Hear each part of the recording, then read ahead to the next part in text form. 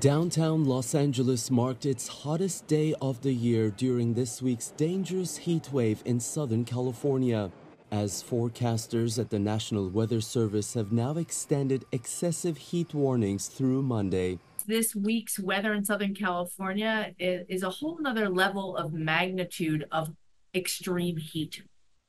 And if people thought it wasn't maybe such a big deal before, now it's really hitting home. Now it's really hurting.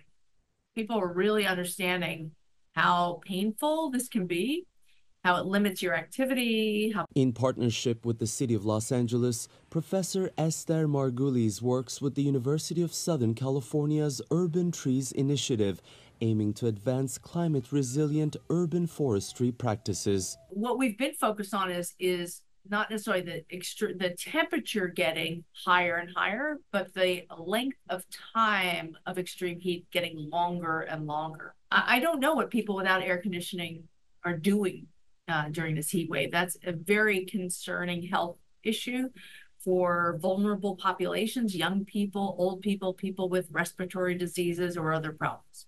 And it's part of a wider global trend coming on the heels of 2023 which marked the hottest year in recorded history, paving the way for another year of record high temperatures.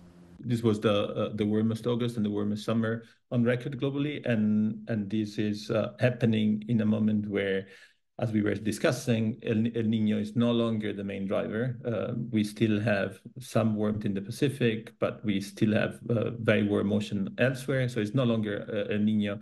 And of the many drivers of climate variability, I think one of the one we need to look into in this case as a main responsible is really the um, anthropogenic climate change and the increase in greenhouse gases in our atmosphere.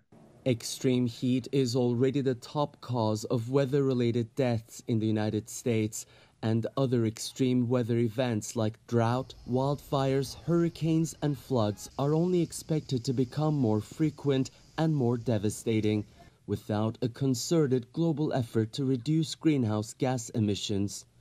It is Tian Shan, CGTN, Los Angeles.